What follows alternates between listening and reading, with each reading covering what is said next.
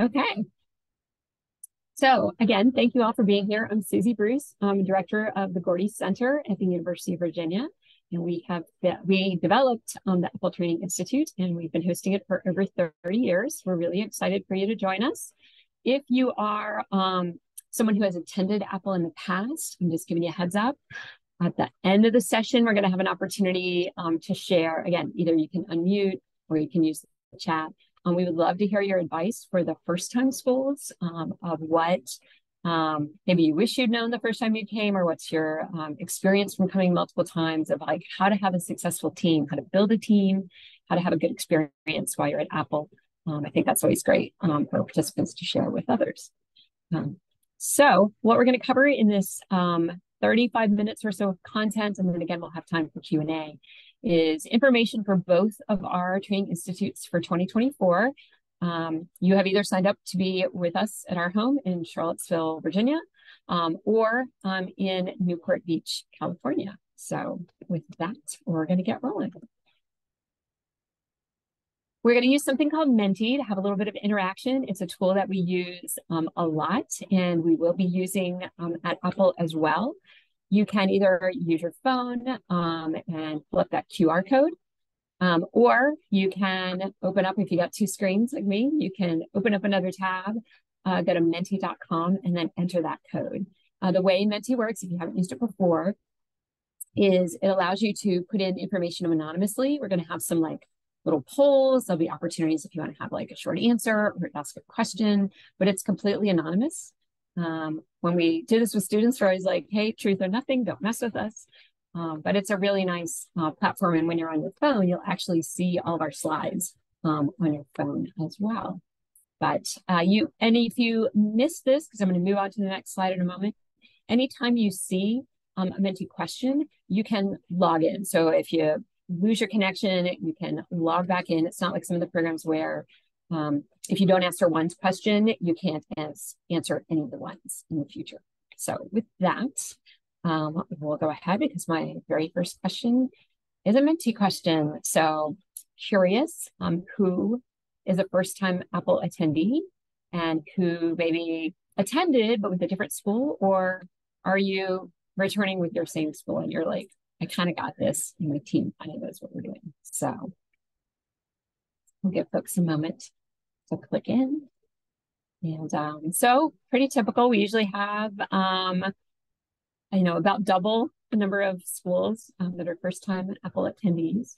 Um, so um, we're excited. And again, those of you that have come before, well, heads up at the end, we would really love to hear your expertise. And I know our first time attendees would also like to hear that. So first of all, I want to um, recognize our home here at the University of Virginia. As I mentioned, we created the Apple model that is the core of the Apple Training Institute. And, and yes, we have a lot of Apple puns throughout this. Um, and our sponsor and our funder um, is the NCAA, particularly the Sports Science Institute um, is where our funding comes from um, for all of those 30 plus years. And the NCAA provides over 90% of the cost of our training institute. Um, we have a number of educational partners. We've been working with Drug Free Sports for decades, as well as the University of North Carolina at Greensboro and their Center for Athlete Wellbeing.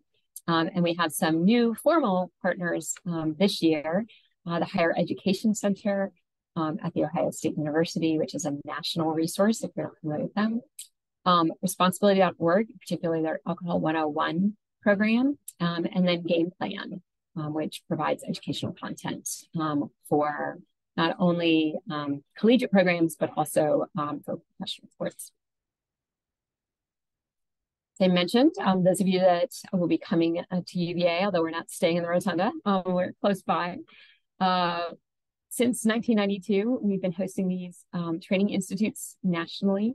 And we changed our name back in about six years ago to the Training Institute.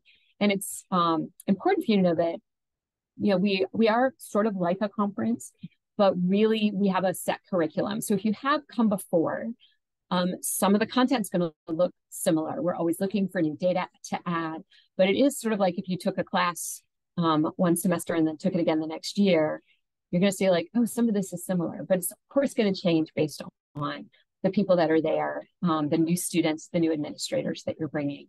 And then we do have sort of our electives, our Saturday afternoon we have our breakout sessions. Um, and we're excited to welcome you to our Apple family. As you see, over half, um, you know, over 60% of NTA member schools have attended. So the Apple model, we will get into much more in depth, obviously, while you're there, but just to kind of give you a little overview, we really have seven different areas um, where your campus athletics department can impact substance misuse among your student athletes. And so for each of those seven, we have detailed guiding principles. In other words, what would be the model perfect program? Um, and then you know, what does that look like? And we'll be sharing some examples of how schools have improved those different areas over the weekend. So what is it going to do for you? Um, we've got some fun pictures, mostly just from um, this March when we had our training institute. So, um, you know, the big focus is substance misuse. Um, it's really about education, getting accurate information. We're here to empower your teams. We're here, we're here to help you network with other campuses, um, whether they're, you know, 30 miles away or on the other side uh, of the country, as well as networking with our national partners. Um, and then we provide coaching for you for the next year. So there'll be some check-ins um, to really help you be as successful as possible. I'm not going to read all these learning outcomes. We have them on our website. We'll post these PDFs uh, later as well but I want to highlight just two of them. Um, we know um, from our outcome research that you really will increase your ability to impact substance misuse um, problems on your within your athletic department um, and within your campus overall, because that last bullet point is by the time you leave, we will help you create a really tight, clearly defined, measurable action plan. So when you leave Apple, you're going to know what are we going to focus on over the next year. What happens over the course of the weekend? You're going to hear us talk a lot about this measurable action plan because it really is the most important part of the whole weekend. And we work really hard to help you be successful in creating one um, that you can uh, be successful in implementing. So, what should you be doing right now? Um, really it is building up your Apple team. Uh, we request that you have all of your team together in a little over two weeks. Um, we know some of you have just registered. Um, so here's our um, suggestions. First of all, you are required to have at least four people on your team, but you can bring up to six. Two of those team members must be student athletes that have eligibility through the next year.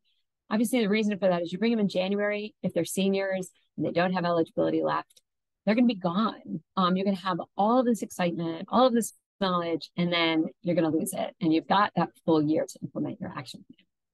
You do have to have at least one person be a full time employee. That's generally your team contact. Um, and that's just really because um, sometime in the past, we had a grad student be sent as their primary team contact. And that um, was just really challenging for them. They're they're part time and they don't necessarily have all those connections. So um, grad students are welcome to be part of the team. Just make sure you've got your team contact who's a, a full time employee. As you're figuring out who do we invite, who do we bring, you know, look at a variety of perspectives, um, skills. So try not to have all, you know, volleyball players or maybe all football players. Um, you know, look at is there another administrator you want to bring? Um, maybe it's a health educator. Like it, it's a really great opportunity if you're within athletics to be like, you know, we've really been wanting to partner with somebody. Um, and this could be a really nice way um, to build those relationships. Obviously, your athletic trainers, we do offer CEUs um, for athletic trainers, your faculty athletics representative, other student affairs folks. So just really think broadly about who would be um, good folks to have as part of your team. And we really think it's critical is your team representative of your department and of your school? And, you know, look at um, gender, ethnicity, again, different kinds of teams, et cetera. So just be really intentional as you're trying to build your team. So another fun little Menti question. This is just helping us on our planning. We know you can bring four, five, or six people. Uh, do you have a sense um, how many people you're thinking you might bring? Again, your $400 registration fee covers hotel rooms and all the meals. So your cost really is, you know, can you get six people together and, you know, the travel. So if you're looking at flights, that might be an extra expense for you, but everything else once you show up is covered for you. So, um, all right. So looks like a lot of people are bringing six. So that's awesome. We're really excited. Um, after the 16th, we'll start reaching out. We'll give you the list of who has registered as a team contact. So you can also let us know, oh no, more people are supposed to be signing up, but that's really helpful information for us. So one of the things that we developed several years ago was some homework. Um, this is meant to be a small task, but again, if you've got six people and you're developing a plan, maybe this is your first time, it's really nice to get the ideas from other people as well. So we just suggest everybody on your team talk to five people. This doesn't have to be formal, um, but students talk to other student athletes, administrators, maybe you know check in with some coaches, and just say what do, what's their thought. What are some of the biggest issues? Because that will help guide some of your discussions while you're at Apple. So here's a big thing that's also coming up um, in a little over two weeks is our um, baseline assessment instrument. So I mentioned um, that that is based on our Apple model and filling this out on time allows us to analyze the data and get it back to you because that'll be part of your um, action plan. So here's a little bit more about it. Um, each of those slices of the Apple model um, have a set of questions. They're a little bit repetitive, um, which is why we have sent you, or if you're just registering, we will send you a PDF of the entire survey. It is important, though, that you use the online assessment to complete it. Please don't fill it out on the PDF um, uh, because that we have it somewhat automated. It might take you 45 minutes to complete this. However, talk with you know, um, your compliance people, because some of it'll be if you have a policy, when you created it, when it's updated, who's monitoring it. So we only need one submission per campus. And we really encourage you, it, it's really rare that one person would know all the answers for everything. Um, again, we'll have a blank copy. Um, you got the confirmation email after your initial registration one. So we'll send that out to you. We also this year created a little short 12 minute video that kind of walks you through the process, gives you some helpful hints. That's already on our website. Um, by I think Friday of this week, we will send another email to all team contacts to let you know where this recording is, where the PDFs that we're watching right now are, and a link to that video.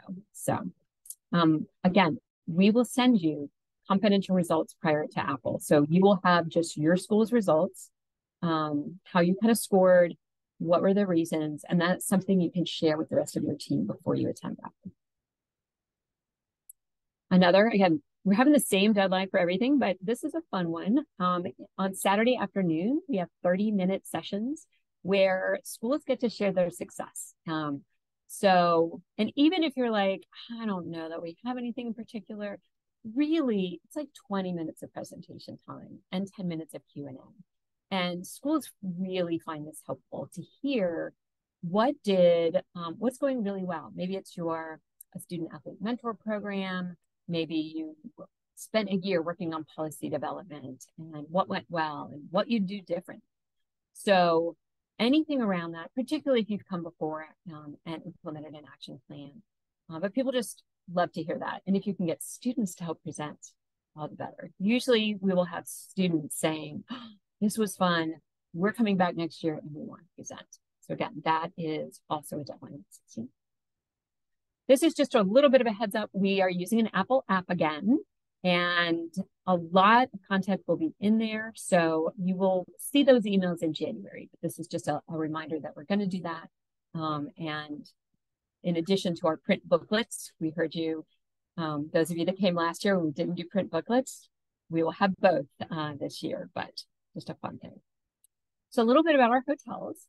Um, if you're staying with us in Charlottesville, the same hotel we've been using for many years, uh, the Doubletree, and we do have a. Um, it's very close to the uh, airport in Charlottesville. You, if you're driving, um, there's no charge to park at the hotel. Um, if you again want to look at flights, you might be able to get cheaper flights um, from Dulles International Airport uh, in the DC area, and that's about a two hour drive. And at Newport Beach, uh, we're at um, near another airport. So we're near the John Wayne Airport. They do have co complimentary transportation. So if you're flying into that airport, you can use a free shuttle. Um, we got a discount on parking, but we only got it down to $30 a night if you're driving in. Um, they do have um, a great fitness center. The outdoor pool is heated. Um, and they have a really nice market. Um, so again, if you come in really early or you're staying kind of late on Sunday, um, they have fresh coffee and some baked goods and sandwiches and things. So that's kind of nice. It's the same hotel we stayed at in 2020 if you joined us there. So for both of our hotels, um, it is double occupancy for Friday and Saturday night. So administrators, don't worry. Students will be housed with other student athletes. You will be housed with another administrator. So in your individual registration form, you can indicate your roommate. Um, if you don't indicate a roommate, um, you will be assigned a roommate of the same sort of type, student to student. Um, if you want a single room, you can certainly pay for that. Um, that's not part of our grant. Um, and occasionally we'll have schools that the timing just doesn't work out. So they need to come in Thursday night. So we will extend the conference rate um, for Thursday night and we will set that up with you. So we do have um, a way, and you can see really that we're just passing along the cost of the room and taxes onto you. So if you want to get that extra room, the most important thing is please do not contact the hotel. Um, you can include that in your registration, or you can just contact us directly. Um, we'll make all of those room reservations. We'll send you the link for separate payment. Um, but everything will go on our master bill. So you'll pay us and then we'll pay the hotel. We know um, athletes like to eat. So we really pride ourselves on having good food and lots of it. We provide all the meals from Friday dinner to Sunday breakfast, including a hot breakfast. They will get eggs and bacon and pancakes or uh, French toast. We have a snack break on Saturday afternoon. Um, we work very hard with our hotel catering staff to make sure any dietary needs are met. We always have substantial vegetarian options. Um, and as long as folks let us know in advance, um, that is part of the individual registration. We work really hard. We will meet, meet those dietary needs, um, but we do need advance notice. Um, so especially let your student athletes know they can't tell us the day they come in that we'll work hard, but that, that may be more challenging. So if you're here with us, we're pretty sure you're coming, but um, occasionally um, things happen. So we just want to make sure this is part of registration, but our cancellation policy. Um, if it's before December 1, then that $400 registration fee um, is refundable, um, or you can apply it to next year.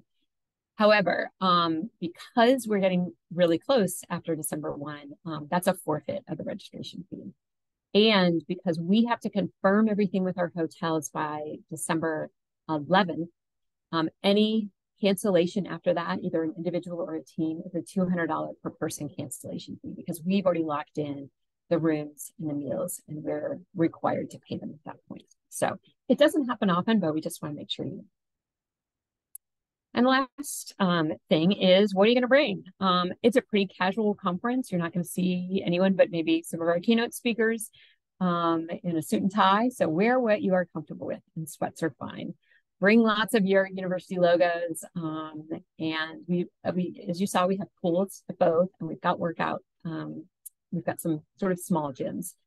And one thing that's important is, in addition to everyone will probably have their phone, but have a laptop or some kind of Wi-Fi device um, because your action plan is submitted online. Um, so just having that will be really helpful. With that, I'm going to turn over to Max, who's going to talk about what happens when you're actually at Apple. Thanks, Susie. So, looking first broadly throughout the weekend, you all are going to get to see a lot of different keynote and breakout sessions that are going to cover a whole bunch of topics. We're going to talk about the impact of alcohol and cannabis on performance. We're going to talk nutrition, drug testing, hazing, mental health, and many more topics. So, it's going to be broad. It's going to touch on a lot of different things that your different campuses and participants are interested in. Uh, you're also going to have great uh, networking opportunities with one another. There are great connections made between athletes, between administrators. we're really about that cross campus connection as you help each other build great action plans. Uh, and you're also going to get a chance to share your ideas with us and evaluate these sessions. So when you arrive, going through the timeline a little bit of the weekend now, uh, you're going to check in between 1.30 and 4 on Friday.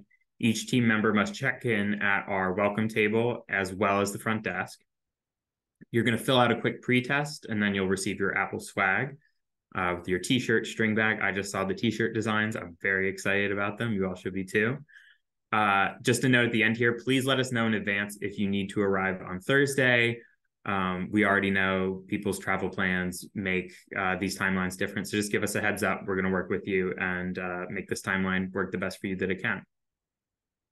So moving forward through Friday from four to nine, we're going to start with our first session right at four, uh, followed by dinner at 5.30. Uh, again, please send us a text if your timeline changes in the other direction. If you end up running late, we know January snowstorms, delays, whatever it is, give us a heads up. We'll work with the hotel to get you fed. Just let us know. Uh, the focus of this evening is going to be the foundations of the Apple model. So Susie talked about that curriculum that's consistent from year to year. We really give you that foundation at the start. Uh, that's going to give you an understanding of the impact of alcohol and cannabis on athletic performance, talking about best practices for substance misuse prevention and effective ways to teach students. We'll then have our keynote speaker, Linda Hancock, followed by, I'm very excited about this, I'm getting to host trivia night. We're also going to do a t-shirt swap. So anybody who's up for it, we ask that you bring a t-shirt in your own size with your school's logo, athletics, whatever it is on it if you're interested in participating in this. And we'll send you an email reminder later on. So moving into Saturday, uh, in the morning, you're going to get more of the Apple model, uh, moving into applications for your own school. Uh, you're going to then take that to team meetings to discuss your campus's needs and begin making that action plan. When you move into the afternoon, you're going to get more of those elective options that are uh, a little bit different year to year and a little more specific, maybe. Uh, those breakout sessions are going to cover all kinds of health and wellness issues. Um, we've got you know talking about cannabis policy talking about healthy relationships all kind of things that connect to these big topics uh, and then you'll have more, more, team meetings as your team disperses gets to know the uh, breakouts that they're most interested in and then come back together and see what makes the most sense for your campus moving into the evening uh, in charlottesville we have paul harris giving a keynote and newport beach we have aaron davis so two really great keynotes to wrap up our saturday night which we're really excited about and then Sunday morning, we get you for a couple more hours. Um, we're going to have a timed competition of your elevator speeches.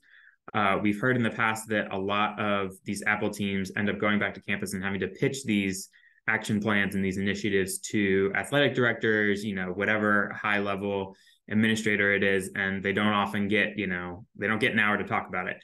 So everybody's going to get like a minute to get on stage, get a mic, and practice how to talk about your action plan. Uh, we're then going to give you some last few tips for taking Apple back home.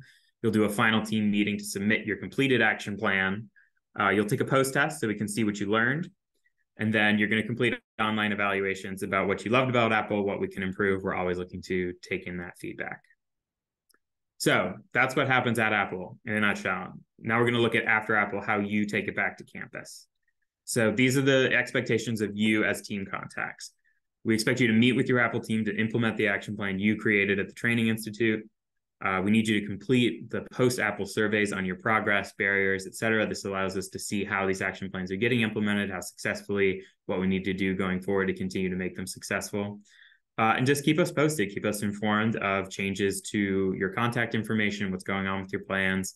Like Susie mentioned, we're going to continue to do check in sessions with uh, team contacts as we go through the year so we can hear all the great work you're doing. So uh, we're going to open it up in a minute from people who have been before, but I want to give you a couple pieces of advice from team contacts who have written in the past. Uh, this first one said you really need to have a team meeting before you come to Apple. It's really important to review the purpose and what to expect. That way, you're not spending time at Apple dealing with confusion or overwhelmed team members. Folks also said that reviewing expectations to ascend and participate in all sessions is really important some more advice here uh, come in with an open mind and listen to your student athletes they're the cornerstone of your success if you let them honestly tell you what is truly happening and what your needs are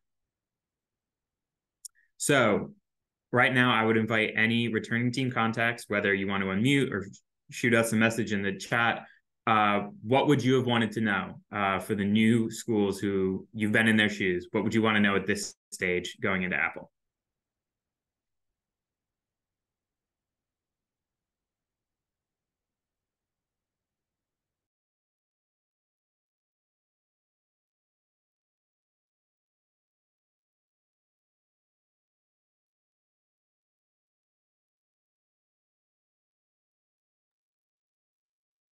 All right, we've got one in the chat here. So talk it up with your SAC. I think that's a great resource for uh, recruiting students, bringing folks in, uh, and informing them about all those expectations we want to know going in. All right, I'm going to move forward. Um, some quick reminders at the end. Uh, now is a great time to pull up your calendar and put in the one due date for everything.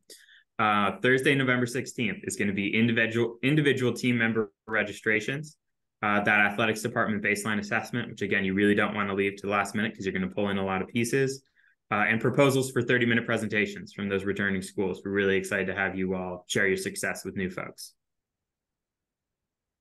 And now questions. Feel free to, uh, if you'd like to be anonymous, you can put them into Menti here. Um, we're also totally fine if you unmute, send them in the chat, whatever works best for you.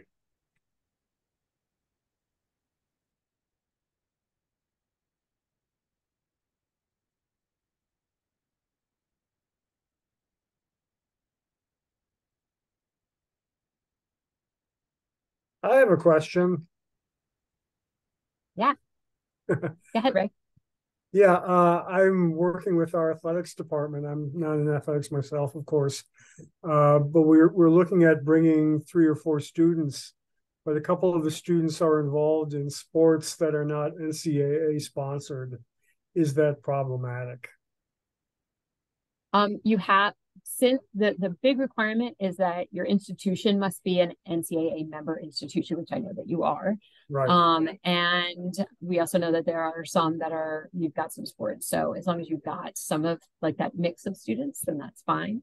Um, a related question that we often get is do, do my student athlete, do the students all have to be student athletes? And the answer to that is no.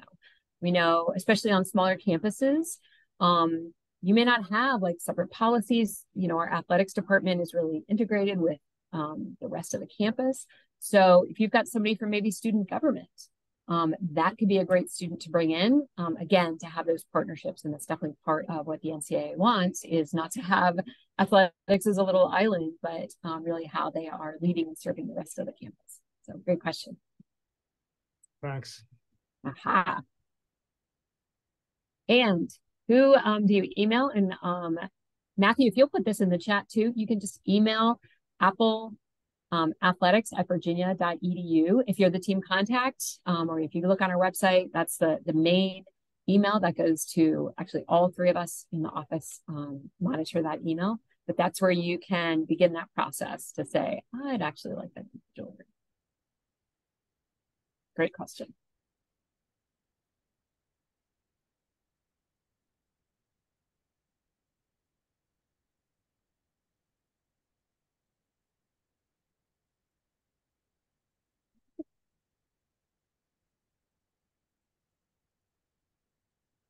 And I think the questions that we all, we did our um, D2 only um, webinar, that one's in February, um, a couple weeks ago. And um, I think we already included the questions that came up there, we've already included in the slides. So I was trying to think of anything else.